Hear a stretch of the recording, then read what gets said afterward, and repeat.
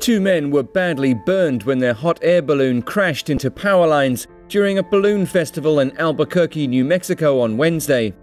The New Mexico Sunrise Balloon was one of hundreds taking part in the annual balloon fiesta and was preparing to land when the accident occurred.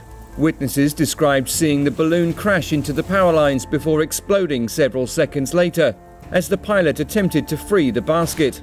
The burning basket then plunged to the ground, where the balloon's chase crew and passers by helped to pull the pilot and passenger to safety.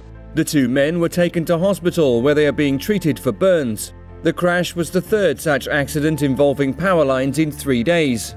The other balloons managed to make safe landings.